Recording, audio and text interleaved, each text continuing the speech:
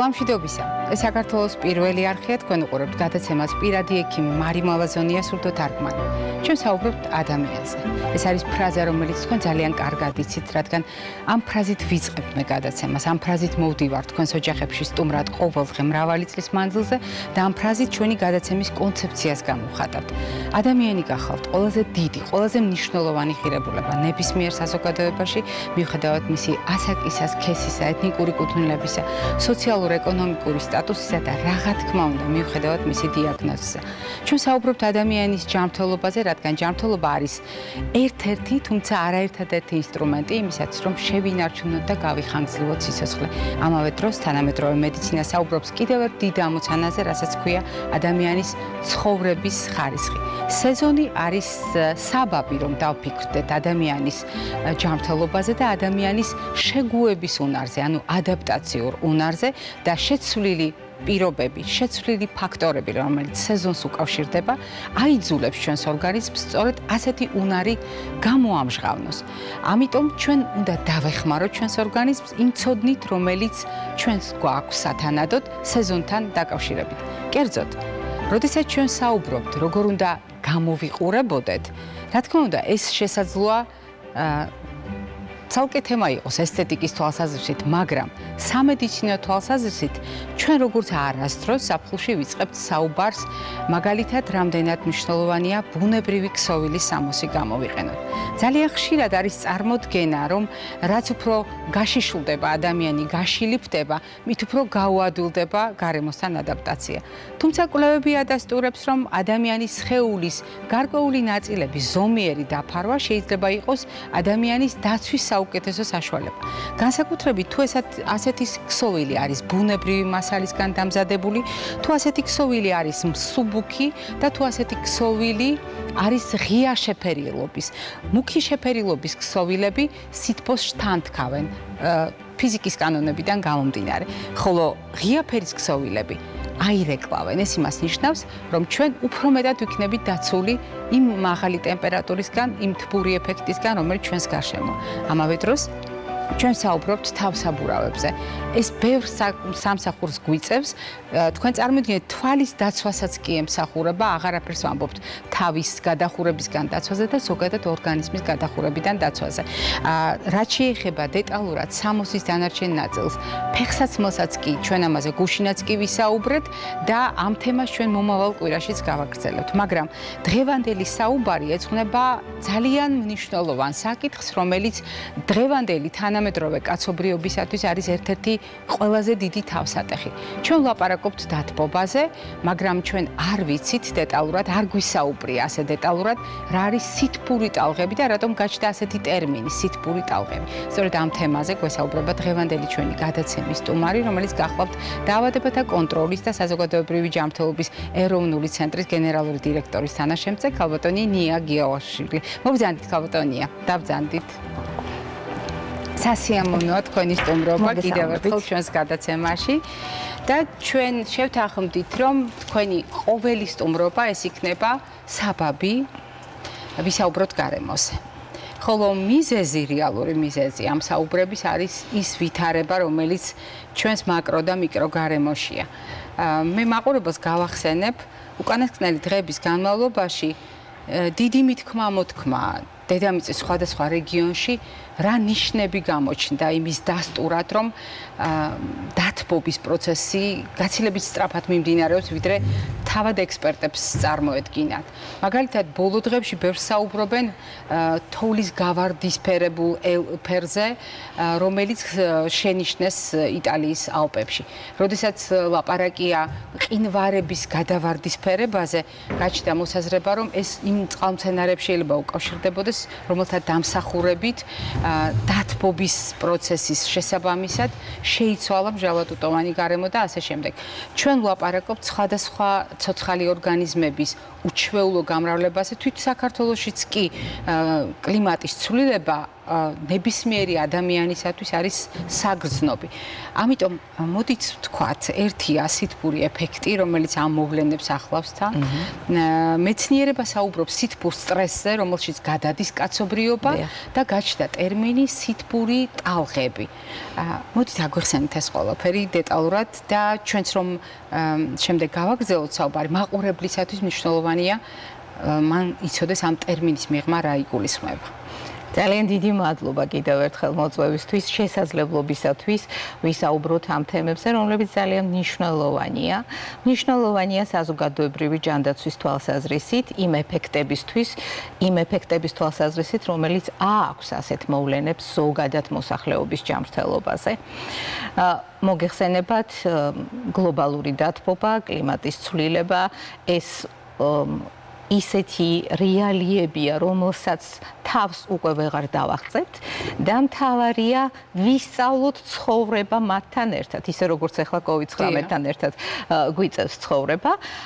იყოს ჩვენი ქმედებები, ჩვენი ჩვევები შესაბამისობაში მოყვანილი ამ რეალიებთან, იმისათვის რომ შევამციროთ მავნე ზეგავლენა ჯანმრთელობაზე და ზოგადად გავხდეთ უფრო მდგრადნი ასეთი ცვლილებების მიმართ. როგორც აღნიშნეთ, კლიმატის ცვლილება გარდაუვალი რამ გლახავთ და გლობალურმა დათბობამ გამოიწვია ის, რომ ყოველწლიურად სულ უფრო დიდი რაოდენობით გვაქვს ცხელი დღეები. აი ეს ცხელი დღეები, რომელთა რაოდენობა, სიხშირე და მაგნიტუდა მუდმივად იცვლება, გახლავთ სწორედ სითბური ტალღების ეფექტის მქონე თითოული ჩვენგანის ჯანმრთელობაზე, რომ ახდენს ზეგავლენას და ახდენს მავნე ზეგავლენას. დიახ. ეს რეალიებია.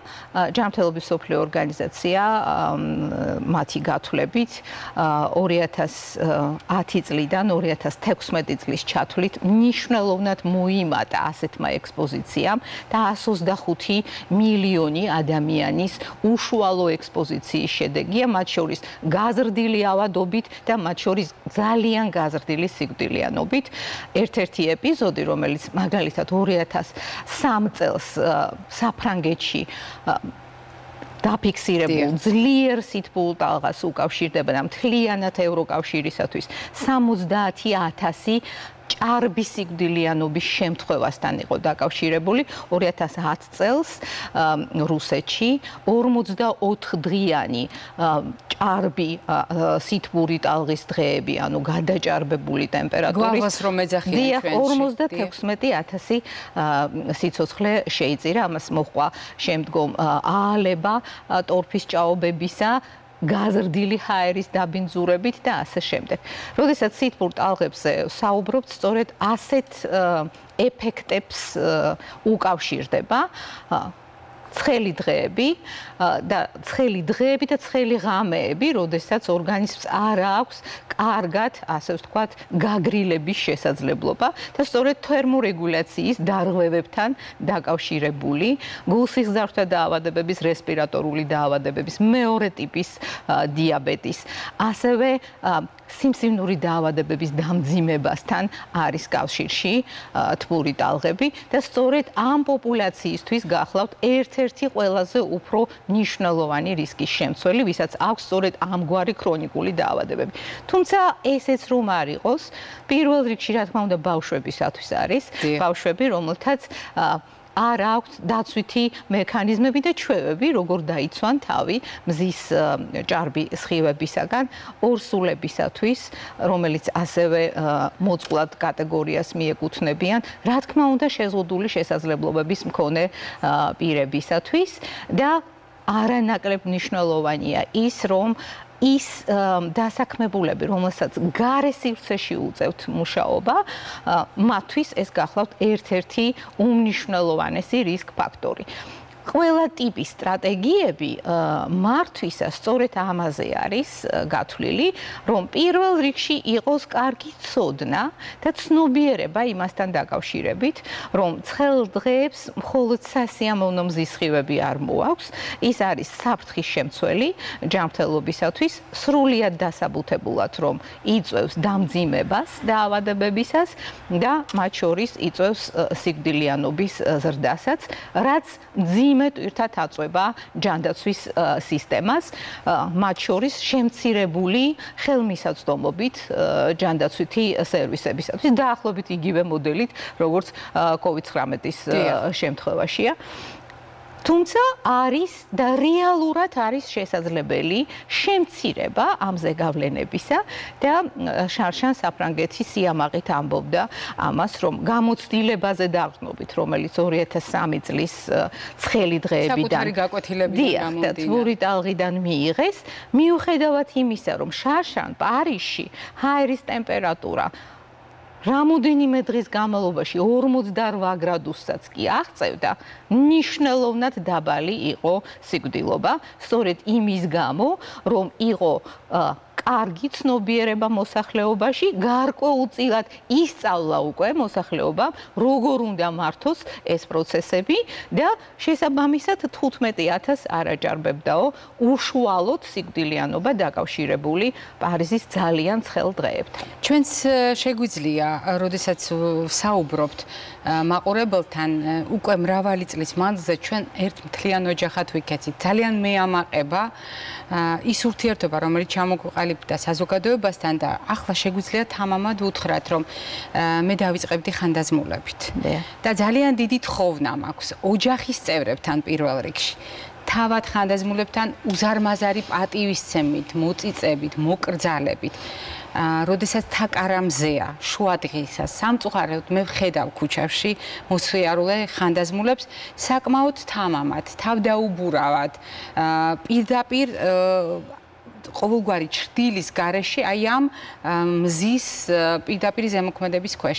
აუცილებლად უნდა დავიცოთ თავი ამისგან. ავარიდოთ თავი მიუხედავად იმისა ჯანმრთელობის როგორი საბაზისო მდგომარეობა გვაქვს და ოჯახის წევრებმა სასურველია რომ ეს სასურველი კი არა, მე ვიტყოდი აუცილებელია გაითვალისწინონ, რომ ძალიან უნდა გაუფრთხილდნენ ხანდაზმულებს, ბავშვებს, ორსულებს და არ არის მიზანშეწონილი, რომ სწორედ აი ამ აქტიური მზის ფაზაში ქუჩაში, ან ღია სივრცეებში ეს ადამიანები გადაადგილდებოდნენ. სასურველია რომ ეს პერიოდის ბინაში გაატარონ და თუ ცხელა ბინაში არის ასეთი რეკომენდაციაც, დროებით დავკეტოთ ფანჯარაც, დარაბებიც, ყოველ შემთხვევაში შევძლოთ გავაგრილოთ.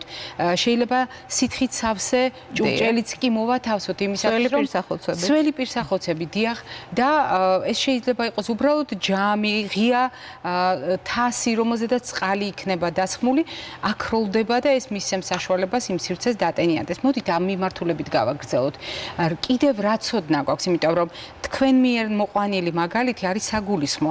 ანუ საკუთარ გამოცდილებაზე დაყრდნობით საფრანგეთმა ისწავლა როგორ გაუმკლავდეს ამ პრობლემას. დღეს ჩვენ გვაქვს ხების მაგალითი და ჩვენი ცოდნა გამოცდილება. კიდევ რა უნდა ვუთხრათ საზოგადოებას, განსაკუთრებით იმ ადამიანებს თქვენს ცალკე გამოყავით და მე მინდა თქვა დიდი გულის ტკივილით რომ ადამიანთა ძალიან დიდ ნაწილს სამწუხაროდ უწევს დღეს იმისათვის რომ თავი გადაირჩინოს თაკარამზეზე იმუშაოს, არა უბრალოდ იაროს, არამედ იმუშაოს. ასეთ შემთხვევაში რას ვაკეთებთ? რა არის ის ელემენტარული ცოდნა, რომელიც ყველამ უნდა იცოდეს? აჰა. პრევენციის ელემენტარული, ასე ვთქვათ, ზომები, რომელიც უნდა იყოს ყველას მიერ მიღებული ინდივიდუალურად. უნდა ვეცადოთ, რომ ორგანიზმი დავიცვათ გადახურებისაგან.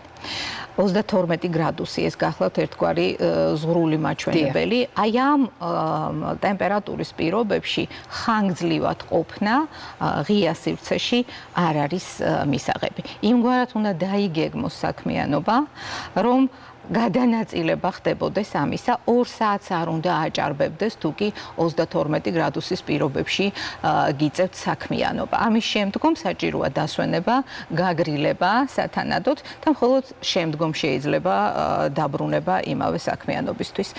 ზოგადად დღის პირობებში 32 გრადუსი, ღამის პირობებში 24 გრადუსის შენარჩუნება. გახლავთ ის ზღრული მაჩვენებელები, რომელიც უნდა იყოს დაცული.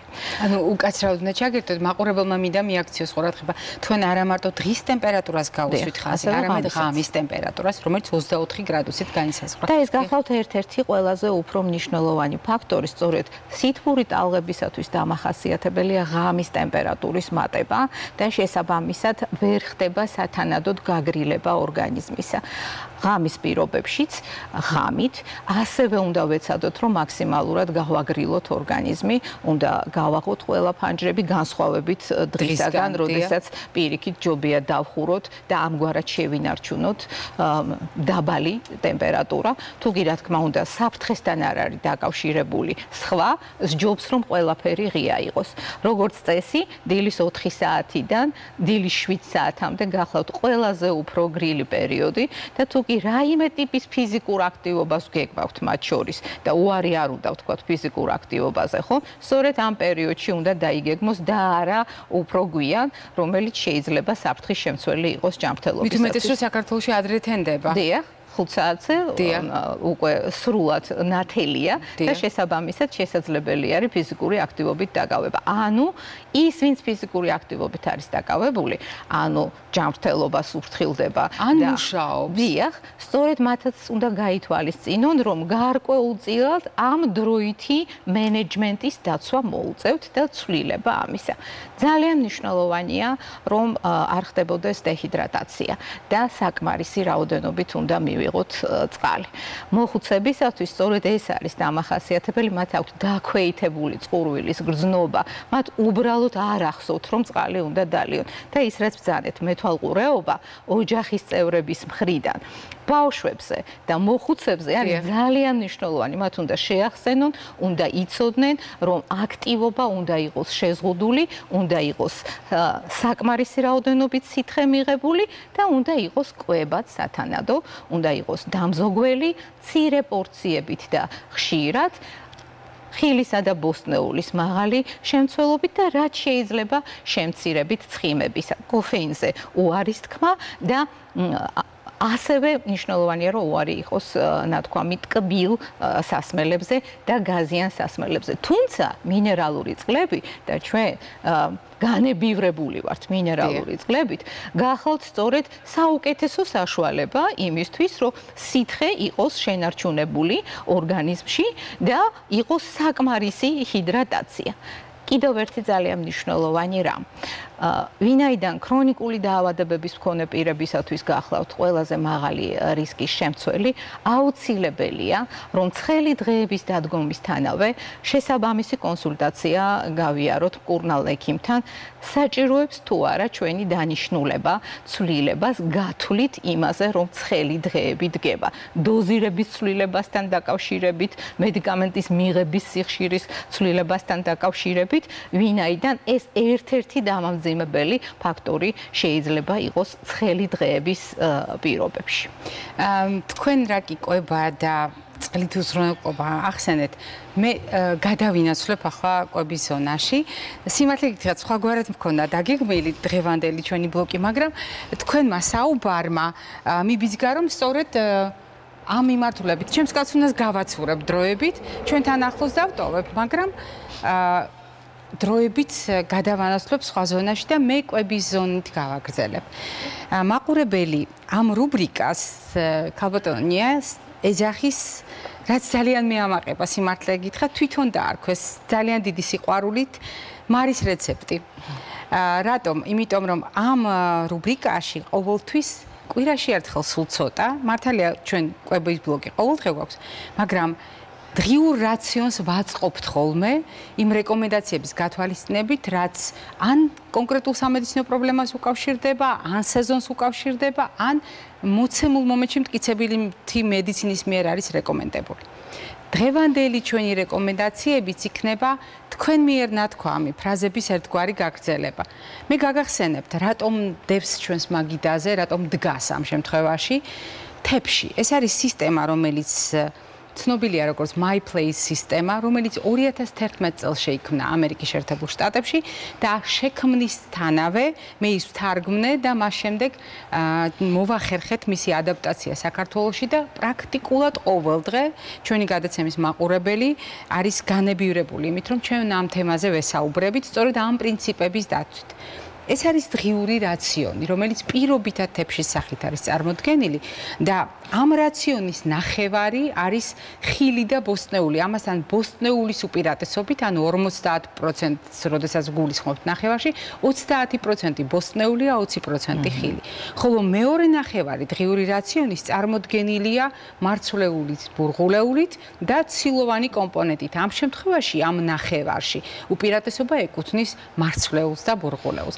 მოდით ერთი წუთით წარმოვიდგინოთ როგორ მუშაობს ეს სითბური ტალღები, როდესაც ჩვენ ვლაპარაკობთ კვებით შევსებულ საკვებ ნივთიერებებზე.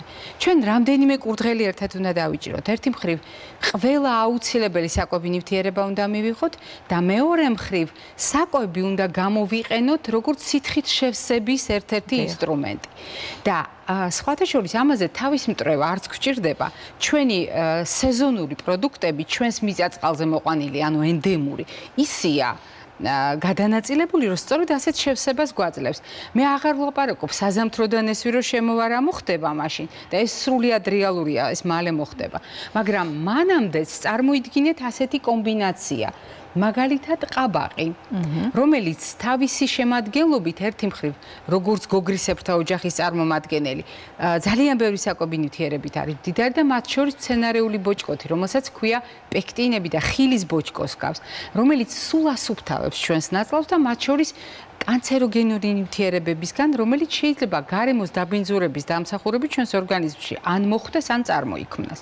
როდესაც ჩვენ ვლაპარაკობთ კიტებზე, ეს არის პროდუქტი, რომლის თითქმის 80-90% არის წყალი. ეს იმას ნიშნავს, ზოგიერთ შემთხვევაში 90%-ზე მეტიც კი. ჯიშს გააჩნია და თუ მას დავაწყვილებთ სალათის ფოთოლთან ან ნებისმიერ მწვანილთან, რომელშიც ასევე დიდი რაოდენობით არის წყალი, პომიდორთან, მაშინ ჩვენ მივიღებთ სეზონურ ნაკრებს ერთი მხრივ სასარგებლო ნივთიერებების და მეორე მხრივ მივიღებთ საკმაოდ დიდ რაოდენობას სითხისა, რომელიც ჩვენს ორგანიზმს რა თქმა უნდა დღიურ ბალანსს არ შეუსებს, მაგრამ ძალიან დაეხმარება. ამასთან დაერთვება ხილი. რამდენიმე წვნიანი ხილი შევარჩიეთ, ეს არის ატამი, ეს არის ვაშლატამა, ეს არის ქლიავი. მე სიამაყით გეტყვით ასევე რომ ატამთან ჩვენ გენეტიკური ერთობა გვახასიათებს, ანუ გვაკავშირებს, ხოლო ქლიავის, ალუჩის, წყემლის სამშობლო ცალსახად ჩვენ ვართ. ეს დადგენილია ამიერკავკასია გვაქვს მემხედველობაში. როდესაც ჩვენ ვლაპარაკობთ ამ პროდუქტებზე, ეს არის რკინის შევსების ძალიან კარგი წყარო. გახლიჩეთ ქლიავი, დატოვეთ ცოტა ხნით ატამი და ნახავთ როგორ გაშავდება, დაიჟანგება. ეს ზუსტად იმის დასტურია, რომ რკინა ჰაერთან კონტაქტში დაიჟანგა. და ამ პროდუქტების გამოყენება სითხიცაც გვავსებს და აუცილებელი ვიტამინებით. როდესაც ჩვენ ხორბალზე ვლაპარაკობთ, ახლა საზაფხულო ჯიშის ხორბალს უკვე ჯეჯილი აქვს ამოტანილი და თუ უფრო მეტიც არა, აი ჯეჯილი ისევე შეიძლება გამოვიყენოთ როგორც წვანილი და ის გაწმუნებს არის სითხის წყაროც, გარდა ვიტამინებისა, ბეჯგუფის ვიტამინების და სხვადასხვა მინერალის. ხოლო რაც შეეხება ცილოვან კომპონენტს, წვანელობიო რომელიც არის რა თქმა უნდა ერთი მხრივ ცილის წყარო, მცენარეული ცილა პარკოსნების სახით და მეორე მხრივ თავისი შემადგენლობიდან ის ქლოროფილით გვამარაგებს ამ სეზონზე და არის უხვად დატვირთული სითხით. ხოლო კვერცხით შეზავებული მაგალითად ლობიო ეს არის ისეთი იდეალური ცილოვანი ნაკრები. ერთი წუთით წარმოიდგინეთ ეს ყველაფერი თქვენს მაგიდაზე შეიძლება ადვილად ხვდება ლამის ყოველდღიურად კვირაში რამდენჯერმე. და არც კი ვფიქრობთ რამდენი სასარგებლო რამ ხვდება ამ პროდუქტებთან ერთად ჩვენს ორგანიზმში. ხალბატონ მანია მახსენა არაგაზიანი სასმელების ხარჯზე იმიტომ რომ გაზიანი სასმელები თავისთავად დამატკბობელი ეფექტი აქვს მას და დამატებით მოითხოვს წყალს. გარდა ამისა, დაგაზვა ნიშნავს CO2-ით გაღიზიანებას კუჭნაწლავის ტრაქტის, გარდა ამისა, კალციუმის გამორიცხვას და ასე შემდეგ. მოკლედ უპირატესობას ვანიჭებთ მტკნარ წყალს, სასმელ წყალს. მეორე მხრივ მე ვისარგებლებ შემთხვევით აუცილებლად გეტყვით, რომ არის პროდუქტები, რომელთა დამსახურებით ჩვენ იმაზე მათ წყალს ხარჯავთ, ვიდრე ჩვენ შეიძლება წარმოგვიდგენია და მით უფრო ჩვენს ორგანიზმს წაადგება. ეს არის ალკოჰოლი და ზაფხულში ალკოჰოლი არ გვეხმარება სითბოს გაცემაში. უფრო მეცაც გეტყვით. საზოგადოებაში დამკვიდრებული აზრი, რომ აი ცივცივი ალკოჰოლი თუ დარია, ცივცივი ლუდი დალია, გასაგებია იმ მომენტში ეს გვაგრილებს. მაგრამ შემდეგ ალკოჰოლის დამსახურებით ჩვენი სისხლძარღვები ფართოვდება, იწყება ორგანიზმის გადახურება და მას აუცილებლად ჭირდება გასცეს ეს სითბო და გარკვეული დოზის მერე ალკოჰოლი არა მარტო გაფართოებას იწევს, არამედ იწევს სისხლძარღვების შევიწროვებას, რაც არც თუ ისე კარგი არჩევანია ზაფხულში და ეს ორგანიზმის გადახურებას უწყობს ხელს. ხოლო რაც შეეხება მაგარი ჩაის გამოყენებას, მდუღარე ჩაის, როგორც თქვა, ძალიან ბევრ ქვეყანაშია ეს კულტურის ნაწილი, რომელიც ეხმარება ორგანიზმის სითბოს გაცემაში, ამაში არის ლოგიკა. სხვადასხვა საქართველოსში გამოყენებული იყო ამისათვის უდიდგანვე საკმაზები, სუნელებლები, სხვადასხვა სახის სანელებლები, სუნელები და მწარე წიწაკა, რომელიც ასევე ორგანიზმის ტემპერატურას ზრდიდა, სისხლძარღვებს აფართოვებდა და სითბოს გაცემას უწყობდა ხელს.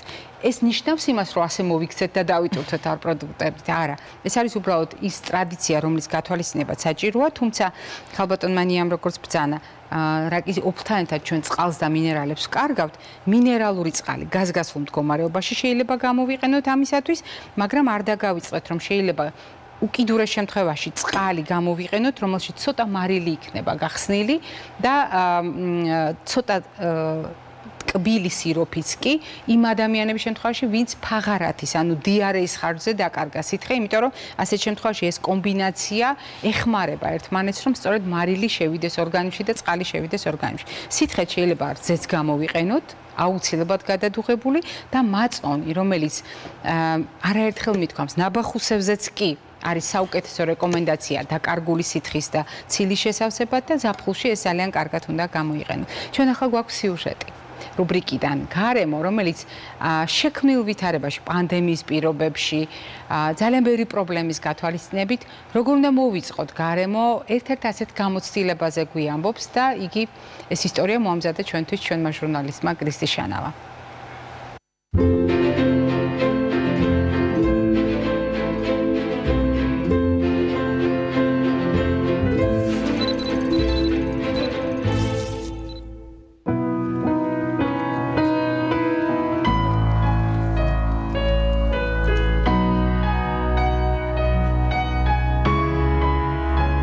ბავშვობიდან ხატავ. ჩემთვის ძალიან მნიშვნელოვანია ხელოვნების დარგი, მთელი ჩემი ცხოვრება მიუძღვენი ამას.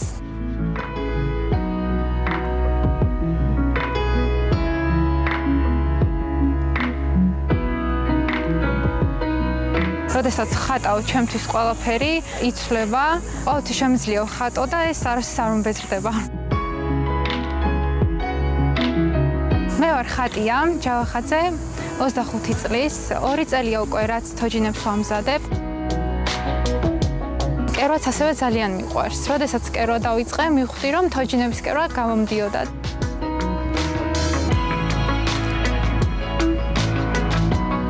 თავიდან დავიწყე მიმსგავსება ტანსაცმლით და ძალიან პოპულარული გახდა საქართველოში, ძალიან ბევრი დაინტერესდა.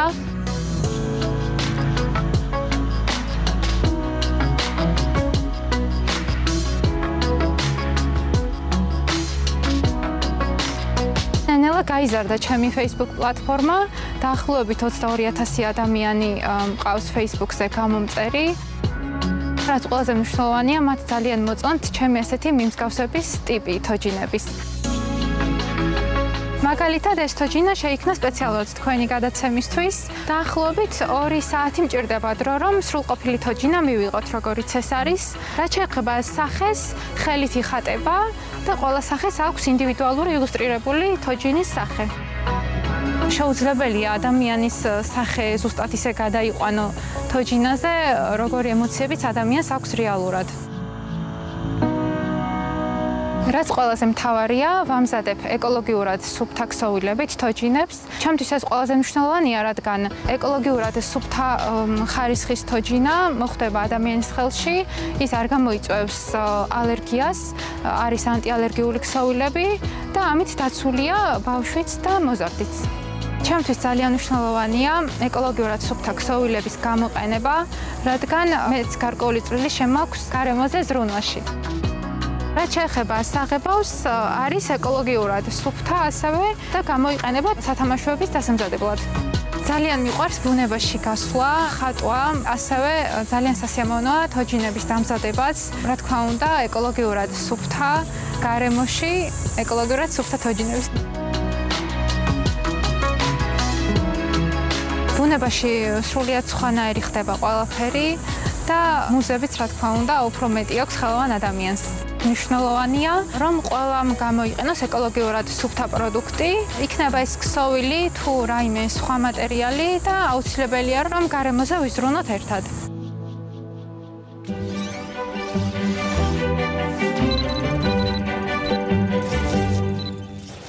ჩვენ ვაგრძელებთ საუბარს თოჯინებით, რა თქმა უნდა, მოვიხიბლეთ, მაგრამ ამავე დროს დღეს ჩვენ უნდა ვთქვათ, რომ აი ამ სიტყვა ტალღებს აქვს არაპირდაპირი ზემოქმედებაც ჩვენზე.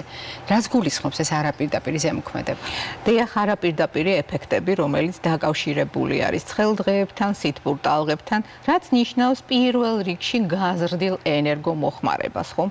იმისათვის რომ გაგრილება მოხდეს, ჩართული არის უამრავი გამაგრილებელი საშუალება. სწორედ ესეთი ეფექტები, რომელიც არის დაკავშირებული ენერგეტიკულ სექტორში მნიშვნელოვან ჩავარდნებთან, რომელიც არის წყალმომარაგების შეზღუდვებთან დაკავშირებული. ასევე გახლავთ ის არაპირდაპირი ეფექტები, რომელიც მოხვება ხოლმე ეს ლოგიკურიც არის. დიახ.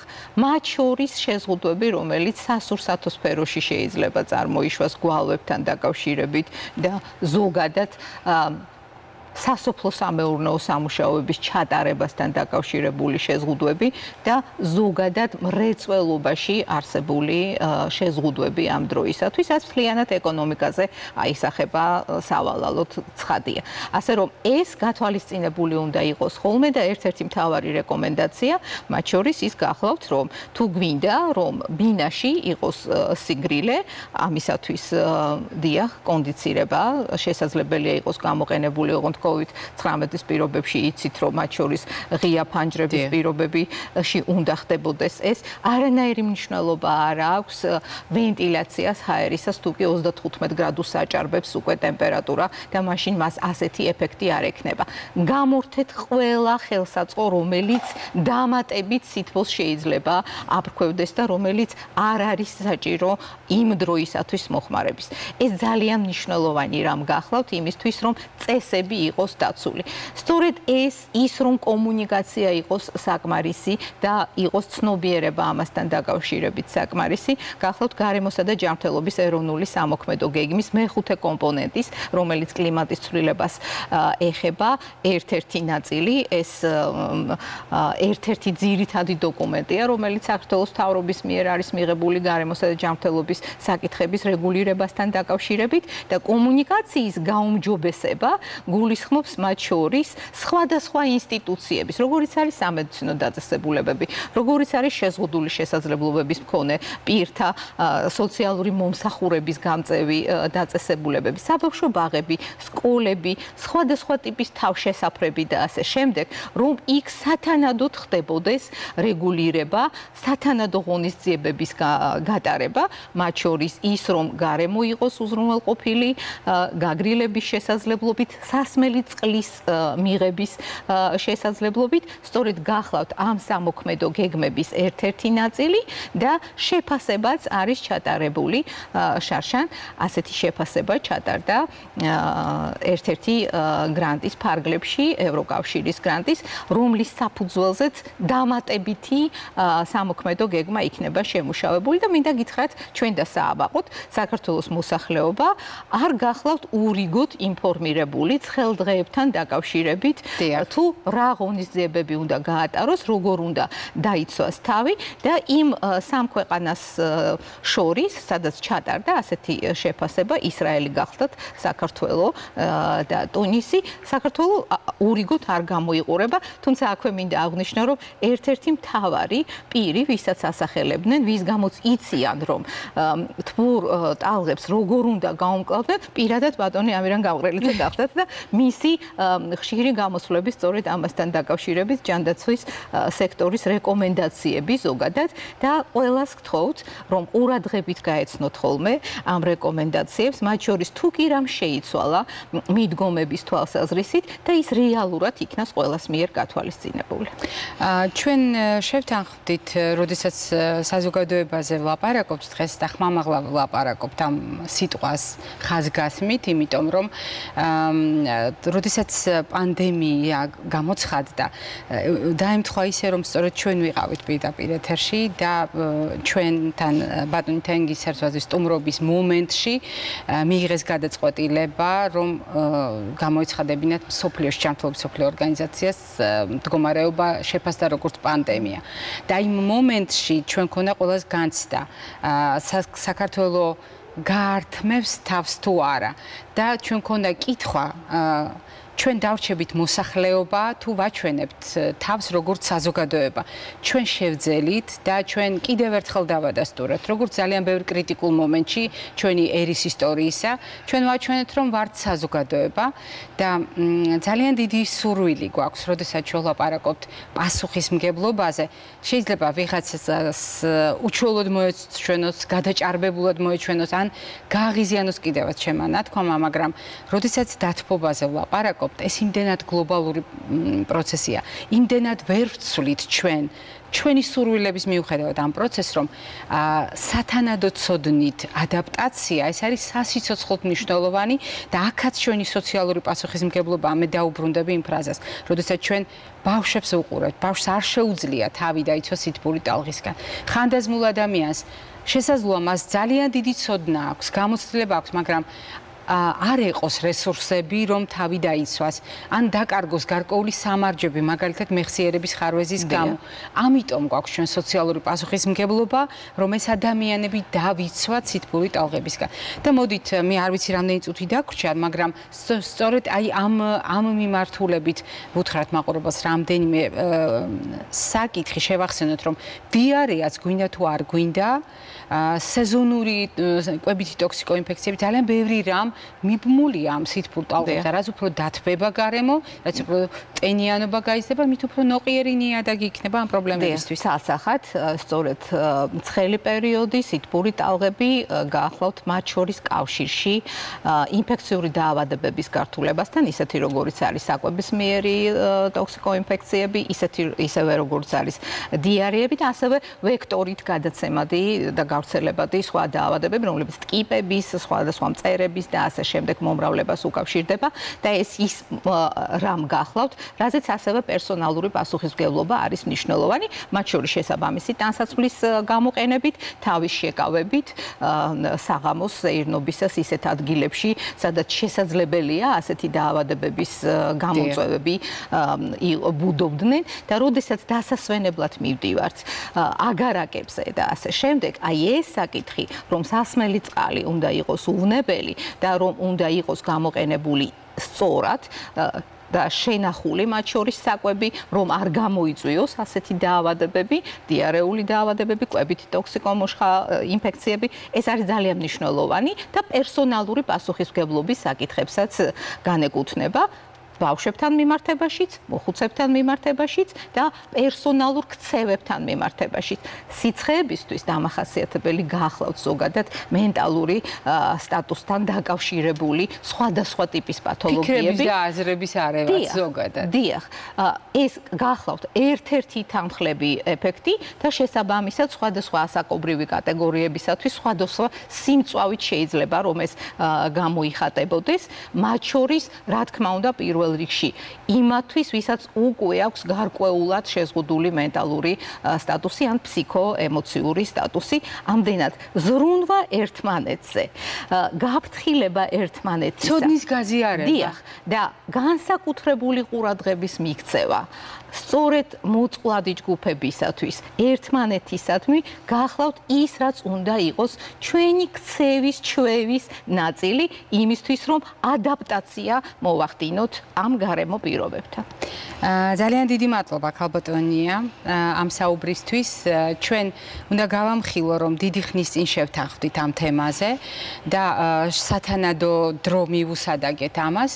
თუმცა უნდა ისიც ვთქვათ რომ ამ თემას ჩვენ არაერთხელ დაუბრუნდებით, იმიტომ რომ გლობალური დათბობის პროცესი თუ ტემპს არ იკრებს, ანუ კრებს ტემპს და არ ნელდება ეს პროცესი და სითბური ტალღების შედეგები კიდე უფრო მწავე შეიძლება იყოს, კიდე უფრო საგულისხმო და გამოცდილება ცოდნა, რომელიც არა მარტო ჩვენს ქვეყანაში, არამედ თემ სოფლიოში დააგროვდება, მე ვფიქრობ, რომ მნიშვნელოვანია გაუზიაროთ ჩვენ საზოგადოებას, მაყურებელ შევახსენებთ ხევანდელი ჩვენი გადაცემის სტუმარი ბრძანდებოდა დაავადებათა კონტროლის და საზოგადოებრივი ჯანმრთელობის ეროვნული ცენტრის გენერალური დირექტორის თანაშემწე ქალბატონი ნია გიუაშვილი. ჩვენ ერთმანეთს ორშაბათს შევხვდებით დილით, ნახვამდის ჯანმრთელობასა და ღირსებას მას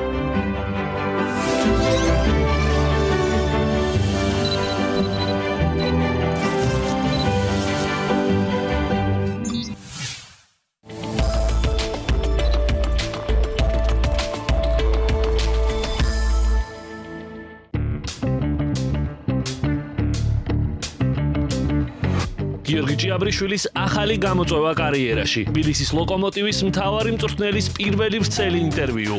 ტაიმაუტის შეკითხვებს გიორგი ჭიაბრიშვილი პირდაპირ